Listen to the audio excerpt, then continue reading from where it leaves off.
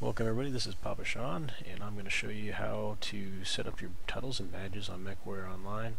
Alright, so you just come into the normal home page here, you've got a mech showing, you look at the left hand side, you scroll down until you get to titles and badges, go ahead and click titles and badges, so you've got some achievements, and you'll see it grayed out if you haven't earned it, and then you can hover over and actually select the ones you have, so you can select Survivor, set title, yes, uh, whatever you want it to be, liquid metal, giant helper, whatever you want it.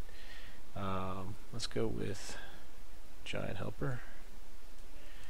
And uh, faction loyalties, you can take a look at that right there. Are you sure you want to set your title to current faction rank? Uh, so you can choose that if you'd like. Otherwise, you can also go for mech packages if you've gotten the Infernal, the Merciless. So we can go ahead and set our title to the Merciless now if you'd like. And then uh, you've got specials here, Fire, Fury, Rage, Wrath if you go to badges and you happen to have any badges, some of these get unlocked.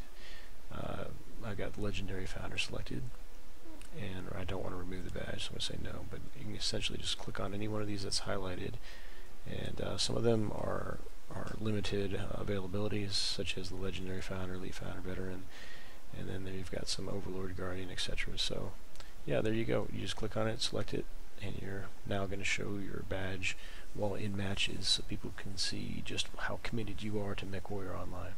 Well, I hope this has helped, and uh, please mash the like button, subscribe, and share.